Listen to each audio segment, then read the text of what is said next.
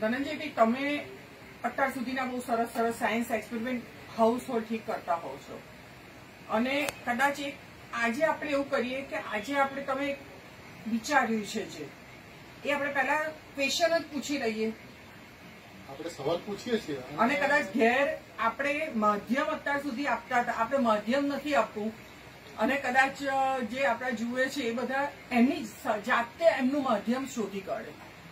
તો એ વધારે કદાચ એ લોકોને પણ ઇન્ટરેસ્ટ કહેવાશે અને કદાચ એ માધ્યમ આપણને સ્પીચ નોટ કે તમે રાઇટિંગમાં કરીને ફોટો પાડીને અધરવાઇઝ વીડિયો કરીને મોકલી શકે. તો કદાચ આપણને પણ કંઈક એ લોકોની વિચાર શક્તિ આપણને જાણવા મળે મળશે કેટલો રસ પડ્યો અમને ખબર પડે હા.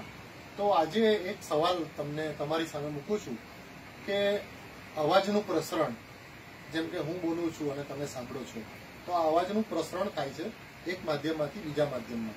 તો અલગ અલગ માધ્યમમાંથી અવાજનું પ્રસરણ થાય છે.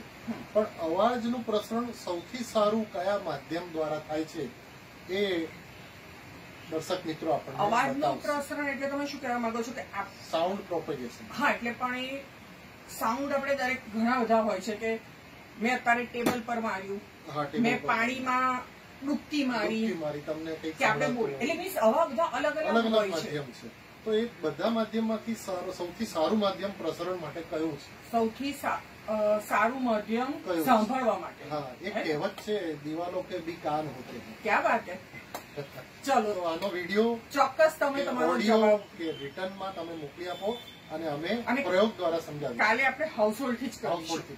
થેન્ક યુ સો મચ તમારા જવાબની રાહ જોઈશું